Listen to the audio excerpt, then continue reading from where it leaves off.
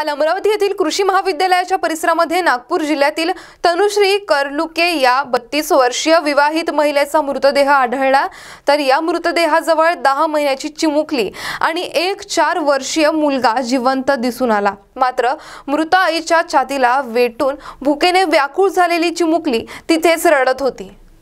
रात्रभरापासून दहा महिन्यांचं बाळ थंडीत आई शेजारी मृतदेहाजवळ पडून होते.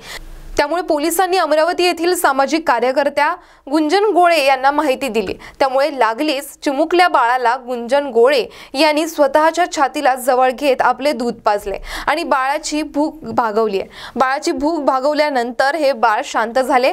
त्यानंतर कालपासूनच तब्बल चोवीस तास गुंजन गोळे या महिलेने दोन्ही बाळांचा सांभाळ करत आईची भूमिका पार पाडली आहे. तर आज दुपारी मृत महिलेचे नातेवाईक आल्यानंतर त्या दोन्ही बाळांना नातेवाईकांच्या स्वाधीन केले.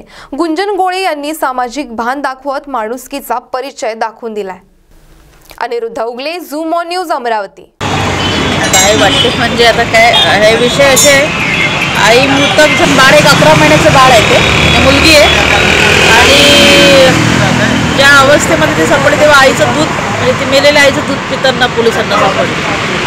आणि तिला भूक लागली होती कारण रात्रभरापासून ती आईसोबत होती एवढ्या थंडी थंडीत होती अंगावर काही नव्हतं.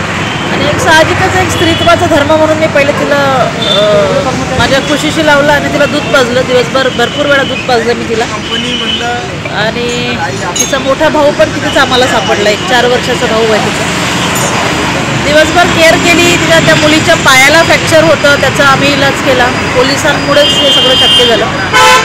आणि त्या माध्यमातून एवढंच मी एक सांगू शकते की अनेक गोष्टी होतात टोकाचे वाद होतात.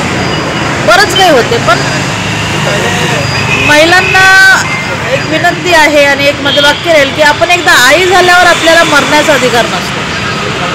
आपण जेव्हा एका बाळाला जन्म देतो त्याच्यानंतर आपल्याला आत्महत्या करण्याचा मरण्याचा हा कुठलाही अधिकार नसतो. म्हणून असे घाईत निर्णय घेतल्यापेक्षा किंवा थोडा विचार करायचा आपल्या लेकरांचा विचार करायचा.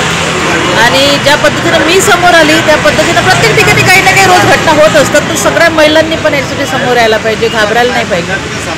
आणि नातेवाईक पण आलेले आहे महिलेचे बाबा वगैरे. आता ते मुलाची कस्टडी आपण त्यांच्या आजोबांना देतोय.